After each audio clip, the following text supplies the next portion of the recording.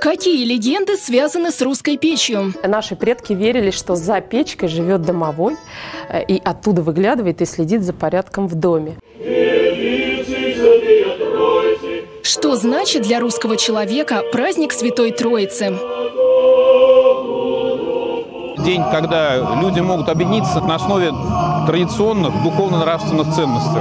Объединиться вместе, порадоваться в том, что мы живем, вот, и у нас Господь есть любовь, что есть у нас Святая Троица. Как приготовить окрошку по-волжски? Используем мы сегодня рыбу, потому что живем на Великой Русской реке.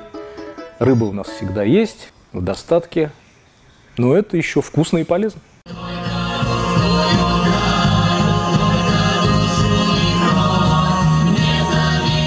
Смотрите программу «Самара многонациональная» 22 июля в 18.50 на телеканале «Самара ГИС».